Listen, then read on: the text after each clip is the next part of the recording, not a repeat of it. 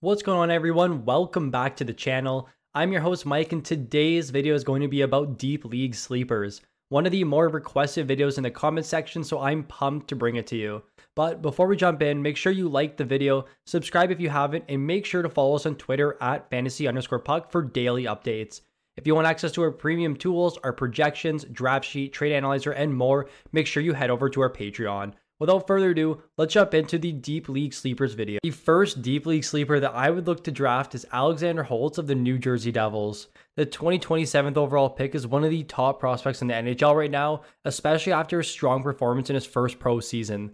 Holtz scored 26 goals, 51 points in just 52 AHL games last season as a 19 year old on a pretty strong Utica Comets team. Scouting reports on Holtz indicate that this guy is a sniper and he's known for his offensive instincts. This makes him very intriguing. Now, I'm not 100% certain that he will crack the NHL roster this year, but early looks in preseason have Holtz skating alongside Palat and Jack Hughes on the second line, and he's been playing on the team's top power play unit. Logically, I just don't see how they send this guy down to start the season if they have him playing in the top six and on the top power play unit. Not to mention, he was called up last season, but he didn't really have that much to show for it. Just nine games, two assists, a minus five rating, and 12 shots and he played under 12 minutes. If Holtz can land a spot on the NHL roster, and if the preseason looks are correct, Holtz will not only be a favorite to win the Calder this year, but he can actually have a really strong season for your fantasy team. Now, I wouldn't draft Holtz in a 10 to 12 team league right now, but in 14 leagues or more, I would look to draft Holtz in about round 14 and beyond. Moving on, the next deep league sleeper that I love this season is Jack Quinn of the Buffalo Sabres. Quinn was the next pick in the draft after Holtz was taking the 2020 draft, eighth overall, and similar to Holtz, Quinn lit up the AHL in his first pro season. After scoring 52 goals in the OHL in 2019, Holtz followed that up in 2021 with a 26 goal, 61 point season in just 45 games, and he was named the AHL's top rookie last season.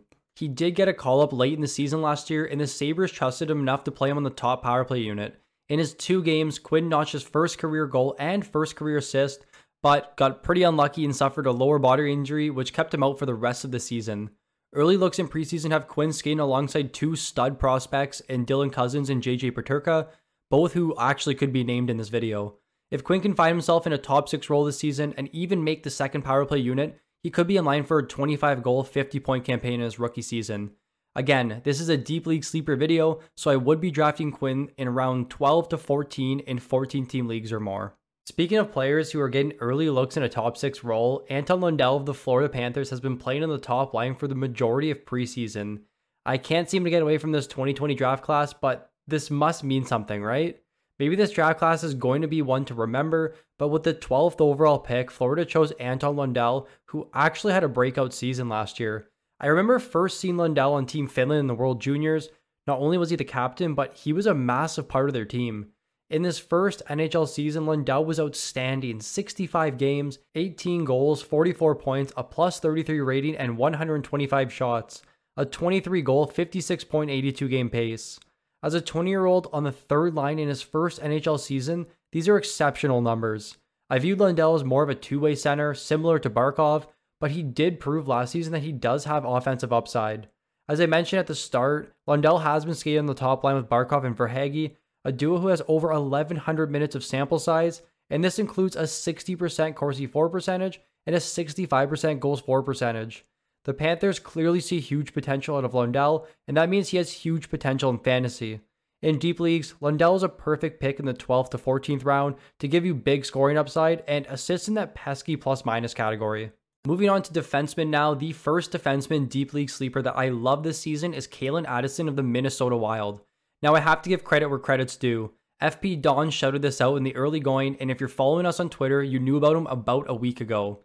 Addison was a big part of the trade that sent Jason Zucker to Pittsburgh, and the former second round pick may have a big role this season for the Wild. He's been skating in the top four role at practice and has been quarterbacking the Wild's top power play. We know that Minnesota has struggled in the past to find a defenseman to quarterback their top power play unit. Dumba, Spurgeon, Brodin are all two way or defensive defensemen, and it now looks like Addison is the next man up. After a solid 34 point performance in 43 AHL games last year, Addison is poised to have a strong season if our information is correct. Head coach Dean Evason has been praising Addison this preseason, and if this is any indication for what's to come, Addison is a solid late round sleeper. I like him near the end of your draft, if not at the end. If he ends up being in the top four role and power play one, he will provide extremely good value for where you drafted him.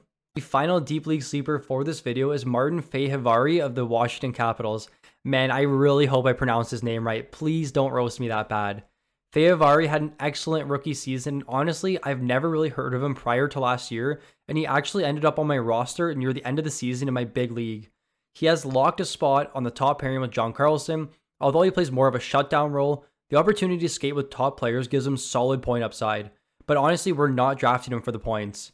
In 79 games, Fehervary scored 17 points, 96 shots, 117 blocks, and 251 hits. He is one of just five defensemen with at least 90 shots, 100 blocks, and 200 hits, and can honestly be compared to a poor man's Jacob Trouba. In his first full season, Fehervary played just over 19 minutes per night, but did see close to 20 minutes in the second half of the season. We can safely assume that the 23 year old will see an uptick in minutes in his second full NHL season and can be a category beast for you in the later rounds. I like Fehervary similar to the others in about round 12 to 14 in 14 team leagues. That will do it for a Deep League Sleepers video. If you enjoyed the video, please leave a like, and if you're new to the channel, please subscribe. Thank you for watching, and I look forward to seeing you all in the next one.